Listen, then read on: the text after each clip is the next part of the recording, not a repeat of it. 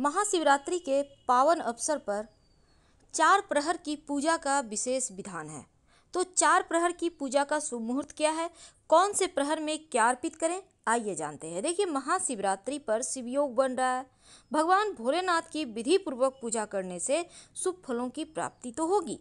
साथ ही शिवरात्रि पर अभिजीत का जो मुहूर्त है, वो समय है दोपहर बारह बजकर आठ मिनट से दोपहर बारह बजकर पचपन मिनट तक।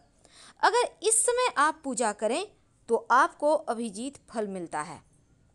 और चूँकि इस बार महाशिवरात्रि गुरुवार के दिन है, और अभिजीत मुहूर्त है दोपहर बारह बजकर छः मिनट से दोपहर बारह बजकर पचपन मिनट तक, और निशिता काल रात बारह बजकर छः मिनट से रात बारह बजकर पचपन मिनट तक रहेगा और इस समय आपको निशिता काल की पूजा करनी है। और जब आप शिवरात्रि का व्रत करें तो पारण का मुहूर्त रहेगा 12 मार्च की सुबह छः बजकर चौंतीस मिनट से दोपहर तीन बजकर दो मिनट पर। अब जानते हैं मनोकामनाओं की पूर्ति के लिए इस महाशिवरात्रि के दिन आप चार प्रहर की पूजा कैसे करेंगे? हमने शुभ मुहूर्त दे दिया है चार प्रहर की पूजा में और ये पूजा शाम से शुरू हो जाएगी। तो पहले प्रहर की पूजा में आपको अर्पित करना है दूध। और आपको बोलना है, ओम ह्रीं ईशानाय नमः। द्वितीय प्रहर की पूजा में अर्पित करना है आपको दही और बोलना है, ओम ह्रीं अघोराय नमः। इसके बाद जब तृतीय प्रहर की आप पूजा करेंगे, तब आप अर्पित कीजिएगा घी। और जब घृत स्नान होगा, तब आप बोलिएगा ओम रिंग वामदेवाय नमः। एक बात याद रखिए, जैसे आपने प्रथम पहर की पूजा की तो दूध अर्पित किया तो फिर जल ज़रूर अर्पित करें।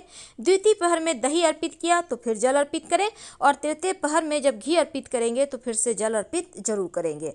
और चतुर्थ पहर की जब पूजा होगी, तब आप चतुर्थ पहर की पूजा में शहद मधु स्नान इसको कहते हैं। तो शहद आपको अर्पित करना है और शहद अर्पित करने के बाद भी मंत्र जपना है और उसके बाद जल भी अर्पित करना है। तो वो मंत्र होगा, ओम ह्रीं सद्योजाताय नमः।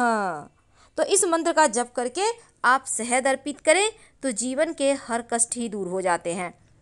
वैसे नित्य कर्म से निवृत्त होकर ललाट पर भस्म का त्रिकुंड तिलक गले में रुद्राक्ष की माला धारण कर अगर आप शिवालय जाएँ विधि पूर्वक नियम से शिव जी को प्रणाम कर पूजा करें, संकल्प लेकर तो यकीन मानिए आपकी कोई भी ऐसी मनोकामना नहीं है जो पूरी ना हो पाए।